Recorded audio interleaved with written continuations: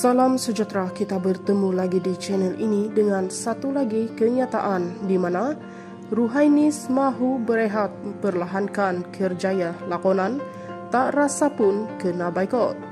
Pelakon sensasi Ruhainis memperlahankan kerjaya lakonan dan akui masih menerima tawaran kerja meskipun dirinya terpalit dengan kontroversi halwat. Menurut pelakon, laporan Ensta Ruhainis atau nama sebenarnya Nur Fa Ruhainis Fareha Zainul Ilyas tidak pernah merasakan dirinya dibaikot malah sentiasa percaya rezeki yang ditetapkan oleh Allah. Saya baru sahaja selesai kerjasama dengan beberapa jenama, tak rasa pun diri ini kena baikot. Kalau betul pun ada baikot, itu di luar bidang kuasa saya. Percaya pada rezeki kalau Allah dah tetapkan, tetap akan jadi milik saya. Jika tiada rezeki satu tahun ini, mungkin tahun depan ada lagi katanya.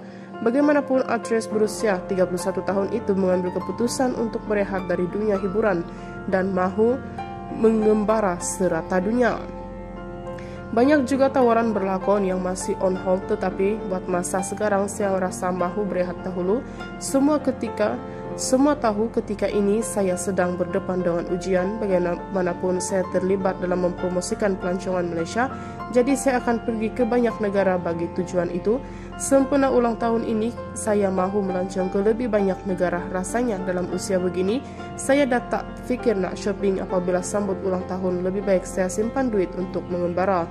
Ujarnya lagi. Dalam pada itu, pelakon drama terjerat itu tidak terlintas untuk mencari teman hidup namun tidak menolak jika ada rezeki yang boleh diterima dirinya seadanya. Soal jodoh kita serah kepada Allah, just go with the flow. Bukan mudah kalau kita bercakap tentang jodoh dan kita tidak boleh nak tergesa-gesa.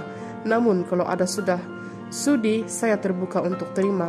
Jika lelaki itu adalah jodoh terbaik, mestilah saya akan terbuka hati. Jelasnya lagi. Terdahulu nama Ruhainis menjadi bualan hangat ramai apabila dia dilaporkan ditangkap halwat dengan aktor Alif Aziz di sebuah kondominium mewah Kuala Lumpur.